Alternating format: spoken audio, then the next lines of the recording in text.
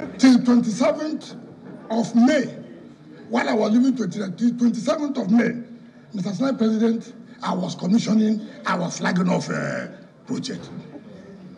This thing can be achieved if you are committed, if you have passion for the job. There are so many people who want to be minister, who want to be governor, for the sake that I was a governor, for the sake that I was a minister. But there are those who say, look, what do I want to offer? Am I committed to this job? And I thank Mr. President for nominating me. I believe, knowing how hungry Mr. President is to solving the problems of Nigeria, we have no choice but to give him that required support. And I can assure you, if I'm confirmed, in whatever, whatever capacity, Mr. President will not regret nominating me. Thank you, and God bless you. Well, it's 63 days of President Bola Tinubu's administration and the Senate has commenced screening of his ministerial nominees, Wike, Badaru, Kyari, Beta Edu, and many others have now been screened by the Red Chamber. The screening has witnessed moments of controversies over the timeline in the educational qualification of a nominee, subsisting court cases against a nominee, some instances of take a bow and go for former lawmakers, as well as some moments of frank questions. We want to know what you think about the ongoing screening of ministerial nominees at the Senate. Share your thoughts on Twitter right now using the hashtag first100days, tag at TVC News NG and at Nifemi Oguntoye. Thanks for joining us on the program. President Tinubu uh, is now set to address the nation. Uh, that's where we're beginning from tonight in the nation's capital, where in the next one hour, the president is expected to address Nigerians. That's according to a special advisor on special duties, communications, and strategy. The president is widely expected to address the outcry of Nigerians aftermath the removal of full subsidy and share federal government's intervention plan following uh, the widely reported organized labor's uh, nationwide protest expected to begin on Wednesday.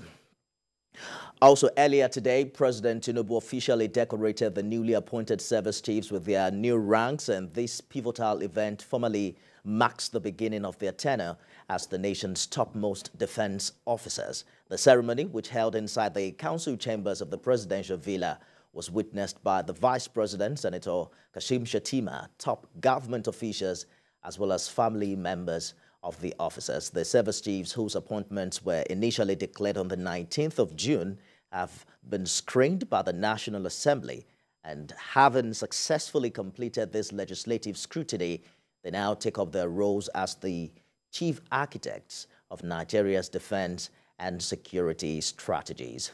State House correspondent Femi Akonde has been following that particular development. He joins me live from the presidential villa. Femi, the service chiefs were officially decorated today at the State House. No doubt they now have their work cut out for them, right? Yes, indeed, Nifemi. They have been decorated. It's now for them to go out and execute Mr. President's charge to secure the country, to secure lives and property, to tackle all emerging security threats, and also ensure that their strategy uh, continues to uh, to evolve. Their strategy to tackle the security challenges uh, remains dynamic and in tandem with the changing conventions in uh, security globally. Well, if I Ifemi, you know, the president also asked these uh, service chiefs to work together to uh, improve in their synergy, uh, uh especially among uh, the uh, security agencies. He says in the in recent past there has been quite an improvement in the security situation on, in the country. Mr. President said this is particularly because of the steadfastness commitment and dedication of the service chiefs. He thanked them for their service to the country, thanked their families for uh, tolerating um, the service chiefs, for allowing them um, also contribute to um, the country, contribute to protecting the country, defending its uh, territorial integrity. And he says that, well, whatever these uh, security agencies need to keep the country safe, the, he, will, he, as president and commander in chief, will provide. Because you recall that uh, in his inaugural speech, he says security will be a priority of his administration. And the service chiefs, on their part, pledged 100% loyalty to their commander in chief. Nifemi. The president is set to address the nation at 7. Uh, perhaps the last time we heard from him in a nationwide broadcast was on Democracy Day.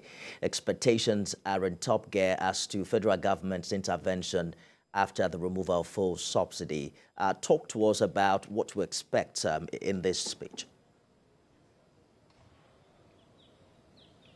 We believe the president will be explaining to Nigerians uh, the intention behind most of the policies his administration has introduced since uh, he assumed office on the 29th of May, especially the removal of um, fuel subsidy. We have seen how this has uh, disrupted the national life. Different sectors of the country have been affected by just um, the impact of the removal of petrol subsidy. We know that um, palliatives have already been rolled out through the National Economic Council, mandating state governments to drive the process.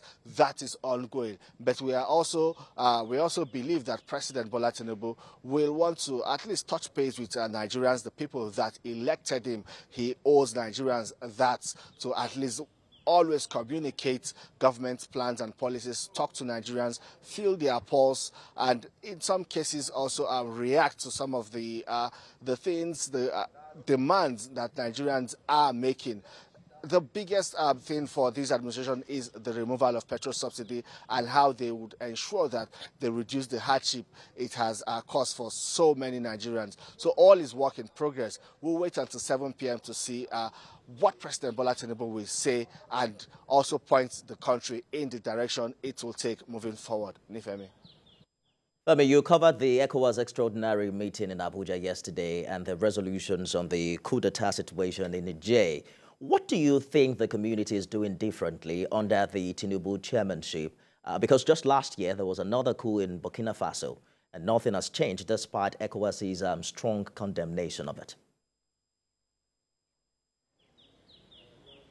Well, if I'm under President Bola Tinubu's um, leadership of ECOWAS, we are seeing stiffer sanctions uh, imposed on countries who are experiencing military takeovers, with the latest being Niger Republic. And of course, that is the first under the leadership of President Bola Tinubu. You know, he had already said earlier that ECOWAS uh, should uh, be resolute. ECOWAS should no longer uh, lay back. ECOWAS should develop and become, uh, well, like a dog that not only barks but bites. And we are beginning to see the manifestation of that um, under his leadership. The sanctions imposed on on uh, Niger Republic are very tough sanctions. We expect that uh, in the coming weeks, this uh, sanction will, in the coming days, this sanction will also pile pressure on the uh, military governments in Niger Republic and force them to open their doors to talk to uh, ECOWAS, to President Bola Tinubu, to also negotiate. But what President Bola Tinubu is saying is that, well, for ECOWAS, ECOWAS stance is that democracy, democratic governance must be restored in Niger Republic, and also the democratically elected president who will be the only one recognized by ECOWAS, that's Mohamed Bazoum, should be released with immediate effect. He is also putting on the table an option of um, the use of force, a military option, if that ultimatum given by ECOWAS expires and the uh, military government in Niger Republic, the coup plotters in Niger Republic, are still hanging on to power, then ECOWAS will be left with no other option than to uh, use force. We do not know how they intend to do that, if they will put boots on the ground or what strategy they will take to uh, uh enforce that use of force that will push out uh, the coup plotters, That we do not know. We hear that uh, they are keeping that under wraps. That is a security and military strategy, but that is on the table. And other options are being explored also by ECOWAS under the leadership of uh, President Bola Tinubu. Nifemi. Absolutely. There are also other resolutions that engage in posing no-flight zone on the J and ordering relevant authorities to free uh, to freeze the uh, uh, the financial ordering financial institutions to freeze the assets of Niger in other countries. Nigerians are concerned about the involvement, the extent of involvement of Nigeria uh, as it plays the big brother role in the sub-region, particularly when you also pay attention to the economic crisis back at home, Femi?